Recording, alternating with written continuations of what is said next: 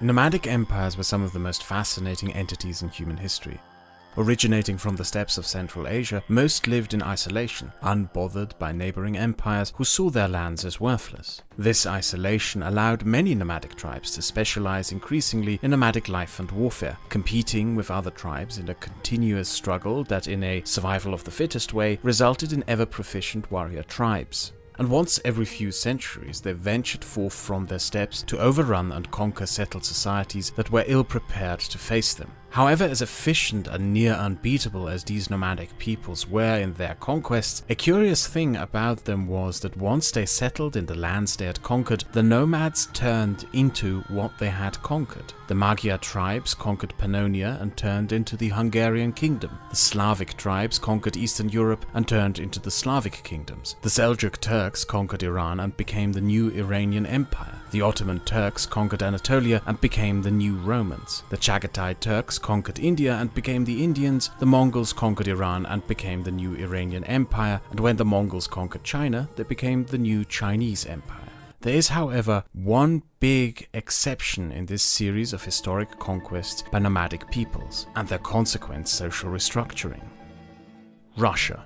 Medieval Russia was not that much different from many other medieval European states at the time, a collection of small duchies, cities and dukedoms with no centralized overarching authority. The most prominent among these were the Kievan Rus and the Novgorod Republic. The Kievan Rus was a princely state with deep cultural and commercial ties into Europe, mainly through the Byzantines. The Novgorod Republic was a city-state and an important part of the Hanseatic League of cities that stretched across the Baltic and North Sea. Then came the Mongols. There's a tendency amongst modern historians to paint the Mongol Empire in a positive light as an institution of trade and tolerance, which, though, is very oversimplified and overlooks the fact that the Mongol Empire was an extractive institution. The Mongols were a tribal people who had no state or legal structures that they transferred over to the people they conquered. Their relation with those they conquered was purely predatory. They wanted to extract wealth and resources from them, and those who refused paid dearly. The kiev Kievan Rus was one of these places that resisted. Kiev was burnt to the ground and the surrounding lands pillaged, with much of the population slaughtered. Medieval accounts tell us of fields filled with human remains for decades after the siege. With the burning of Kiev, a substantial political and cultural transformation of what we now know as Russia began. The Kievan Rus, with its deep cultural and economic ties to the Byzantians, had been the cultural motherland and birthplace of Russia, the place where Russia as a European cultural entity had been created. All that was left of it now was ash. The cultural and economic ties with the Byzantians were now broken. This resulted in a geopolitical shift of Russia, culturally and politically, in power to the northeast. The Mongols enforced their economic order upon the remaining Russian principality states, and the center of Russian political and economic power consequently shifted to the landlocked plains of Smolensk, Rostov, and Chernigov. These places and the princes who ruled them had been largely ignored backwaters before the Mongols. Now they stood at the center of Russia. Throughout the rest of Europe, the institution of feudalism had during this time started to be increasingly challenged. New political and commercial institutions evolved in European trade cities, from Antwerp to Hamburg to Königsberg, Warsaw, Paris, Lisbon, London, and Venice. Merchants, barons, and artisan guilds rewrote the feudal social contract. Additionally, the Black Plague shook up the economic framework of Europe dramatically. With a third of Europe's population killed, there were no longer enough peasants to work the lands for lords. Landlords consequently started competing for the remaining peasants by offering them payment for work. Previously, peasants had worked in exchange for a promise of protection that now became increasingly replaced by a wage-based labor system. But Russia remained untouched by these political and economic developments. It remained under Mongol rule for 250 years and went into an entirely different direction. The princes of Central Russia were recruited by the Mongols as tax collectors. The Mongols outsourced the process of extracting the resource they wanted out of the Russian peasantry to the Russian princes. Because that aristocracy had a lot to lose if they failed to appease their Mongol overlords, and because the Mongols had brought no legal code of limited aristocratic power, the Russian princes extracted that wealth with increasing unopposed ruthlessness and brutality. While in Europe, feudalism increasingly disbanded, an increasingly exploitative economic framework was reinforced in Russia. Urbanization didn't take place as it did in Europe, with the Russian princes invested in keeping as many peasants working the lands as possible. The Russian princes recruited armies of cavalrymen who were paid not in money, but in land, and the peasants on it. However, because there was so much land, control of the land was not as important as control of the people. While in Europe peasants gained access to wages and left for cities to escape feudal lords, in Russia the peasants became deeper tied into their land through strict rules tying them to it, debt patronage, and brutal punishments for attempting to flee. The Black Plague had the opposite socio-economic outcome in Russia compared to Europe. While in Europe, lords started competing for peasants by paying them wages, the Russian princes used the plague to tie lands into enormous duchies and fiefdoms under a smaller number of lords, creating an enormous peasantry working the lands of an extremely small aristocracy. When nomads conquered a settled people, they usually turned into who they conquered. But here, in a weird twist, the conquered Russians almost became Mongols. They were unshackled from any and all political accountability to their peasantry and could rule like the conquerors whom they served. But because the Russian princes merely served the Mongols and were not Mongols themselves, they didn't adopt the tribal customs and nomadic lifestyle of them. The power structure of the Russian princely states thereby became heavily centralized within the power of a singular ruler figure of a state. The Russian princes even adopted the warfare tactics of their conquerors. Rather than build stone castles as the rest of Europe did, they built wooden fortresses and recruited large cavalry armies. When they were invaded, they burnt the wooden castles down, ransacked and burnt the fields of their own land, and then harassed invaders from horseback, while those invaders were forced to march through and suffer the vastness of Russia.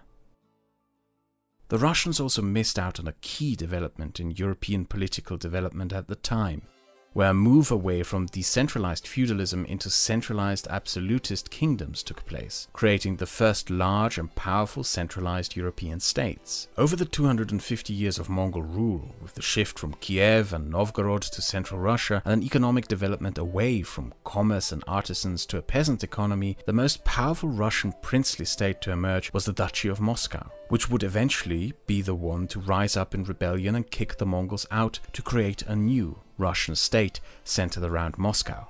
But with the Mongols gone, the newly independent Russia kept the socio-economic and political structures that had developed under Mongol rule and strengthened them. Absolutism is a system of governments in which all political power lies within one singular ruler. Beginning in the 1500s, many a European monarchy embarked on efforts to construct absolutist states, most famously France. It is during this time that the foundations of the modern nation state were laid, but the absolutism project in general was rather unsuccessful. The French monarchs drove the state into bankruptcy and ended up selling government offices and thereby state power to the highest bidders. The Stuart dynasty attempts to build absolutism in Britain ended with their expulsion. Throughout Europe, urban populations, lower gentry, and merchants had made the establishment of the all powerful state difficult. But the conditions found in Russia allowed the Russian czars to create a near perfect absolutism. There are three main factors that led to this. First, Russian society after Mongol rule consisted of a monarch, the army the monarch paid with land, an aristocracy of boyars, and a peasantry. A key difference to other parts of Europe was that the army was not incorporated within the aristocratic class. The army had been directly recruited by the Muscovite state and was dependent upon that state for its status and pay. The state, and thereby the monarch, could use the army without constraints by any aristocrats, even against those aristocrats. Second, Russia didn't experience the regionalized feudal social structures that the rest of Europe did. In fact, there is debate among historians if Russia experienced medieval feudalism at all. Medieval feudalism was a social system in which a peasantry submitted to a military lord and his castle in exchange for protection. In Russia, though, the regionalized structure of aristocracy didn't exist. There were no castles offering protection in these vast lands, and military power lay with the state. The new Muscovite state also introduced the Mestnichestvo, a system of hierarchies amongst lesser nobles that pitted them up against each other in competition for the favor of the monarch. In Europe, the lower aristocracy had an important role in the creation of parliamentary structures by forming a political bloc, competing with the king for concessions, privileges, rights, and powers. In Russia, all power remained with the monarch, and the aristocracy was set up to compete with each other for the favor of the monarch. Third, law developed differently in Russia to the rest of Europe. One of the key factors in the development of law in Europe had been the Catholic Church. It established almost state like structures that competed with monarchs for authority, creating standards for accountability that evolved into written codes of law kings of Europe could not just do as they pleased to their subjects or their aristocracy. Violating the standards set by the Catholic Church resulted in harsh condemnation and punishment by the Church. Medieval feudalism was not a mere exploitative social framework, it was a religious social order under which systems of accountability were created by religion that limited the power of the state. The Russian Church was derived from the Byzantines, and the Eastern Orthodox Church was Caesar-Papist, meaning that the head of the church was appointed by the monarch. The Christian church as it came to develop in Russia was an institution subservient to the state and continued to be throughout history, be it to kings, emperors, Communist Party bosses, or today's oligarchs. The completion of the Russian absolutist state occurred in the late 1500s under Tsar Ivan IV. He established a military district with absolute powers to himself called the Oprichnina and inflicted a decade-long reign of terror upon the country. Ivan had asked the aristocracy permission for this undertaking and they had approved, which goes to show how little the Russian aristocracy could do or even wanted to do to limit the power of the monarch even though Ivan's reign of terror would come at an enormous cost to them. Of the many aristocratic families of Russia, only nine survived this reign of terror. This state structure of absolute, unrestricted power within the monarch continued after Ivan, including with the establishment of the new Romanov dynasty in 1613 and it is not difficult to see it continuing throughout the history of modern Russia. You can see the slavish capitulation of the Russian aristocracy to Ivan's reign of terror almost reflected in the capitulation of the Soviet Politburo to Stalin's reign of terror. And you can browse through the list of murdered Russian journalists yourself to see that in many ways Russia remains a country in which state power puts the ruling man above the law and removes them from any accountability to the law or the wider citizenry. A mistake often made, though, is to assume that these developments were unavoidable and somehow part of some inner logic of Russian culture itself. The city of Novgorod continued to prosper and was never conquered by the Mongols. Its institutions developed to have more in common with those of European city-states. It was the gateway for European goods into Russia and Russian goods into Europe, which made it incredibly rich. The Prince of Novgorod may have commanded an army, but he was accountable to the Veche, a parliament of the city that all free men of the city voted for, and which picked a mayor from the city aristocracy. The Veche and the mayor had control over taxation, laws, and foreign policy. It even had the power to remove the Prince of Novgorod from power to replace him with another. There was a different Russian political development which evolved to have checks and balances, as well as state accountability and rule of law. But that development ended when Ivan III conquered Novgorod, had its leaders executed, and its merchants and aristocrats deported to the deep plains of central Russia. One can only imagine what modern Russia would look like if the free city of Novgorod had been its founding structure instead of the Tsardom of Moscow. The only other Russian representative body was the Zemsky Sobor, a council of aristocrats that gathered to do little more but approve the line of succession to the throne and approve of the Tsar's wars, until Peter the Great even took those powers away from it. Meanwhile, in the rest of Europe, parliamentary assemblies, which in some cases were as old as the Middle Ages, started gaining more and more power from monarchs, establishing parliamentary political institutions and traditions throughout Europe. In Russia, there was no parliamentary institution until the establishment of the Duma in 1906, which had its powers taken from it by the Tsar again only a few years later.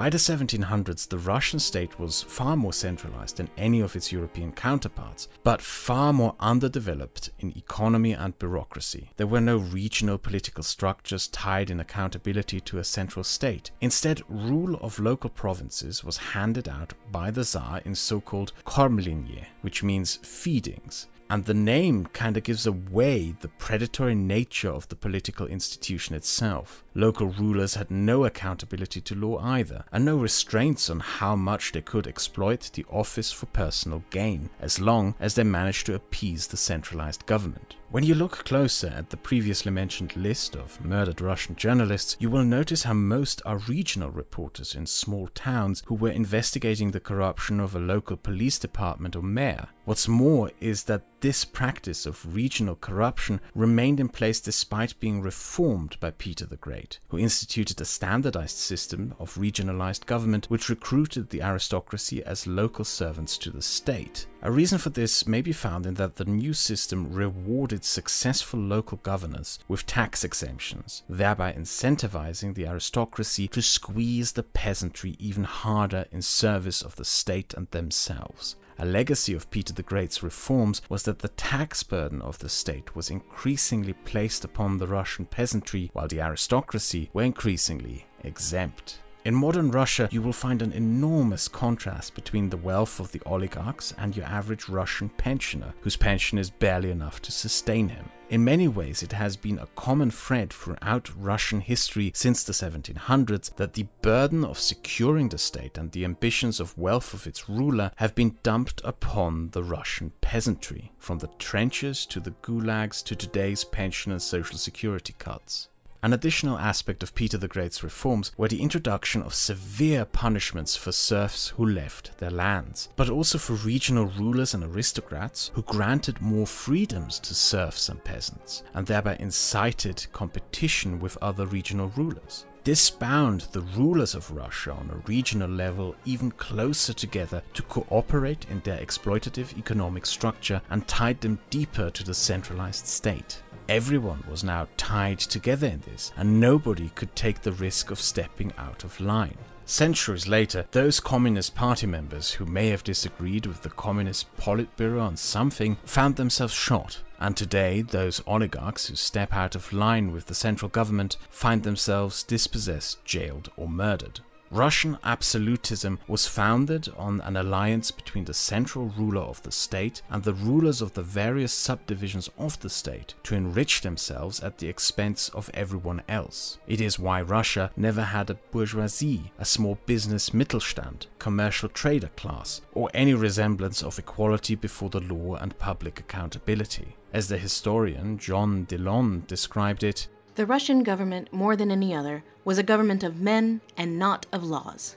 And that aspect of Russian absolutism is what makes it so unique. To show why we can compare Russia to another absolutist state, China, which also underwent a century long political development that resulted in a powerful, centralized state institution with absolute power and a lack of public accountability. But you will find a very big difference between the two. Chinese absolutism was built on a foundation of meritocracy in competition with patrimonialism. Chinese rulers continuously found themselves in positions of having to abide by some standards of accountability to the state bureaucracy. China has, just as Russia, gone through periods of incredible abuse of power, from the Empress Wu to the Great Leap Forward to the Cultural Revolution.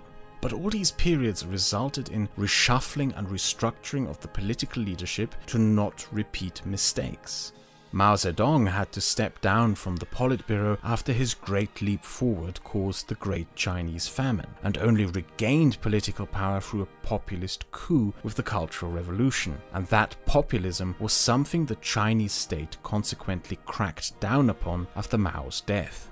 Just as in Russia, the state is absolute in China. If you wish to protest against a decision by the state or change the course of the state, you have to go through the institutions of the state. And just as in Russia, you will find corruption and abuse of power in China, such as local governments that cover up the selling of poisonous baby formula. But the difference in the political structure becomes very clear when you compare abuse of power and corruption. In China, the further you go up in ranks of government, the less corrupt state officials become as a result of the meritocratic state structures. In Russia, the further you go up in the ranks of government, the more corrupt state officials become. As there are no systems of accountability, the only measure in restraint is that you can't be corrupt enough as a local Russian politician to start bothering and annoying your superior politician which is why the government becomes more corrupt the higher the office of the state is. The Russian state is a system of progressively corrupting power.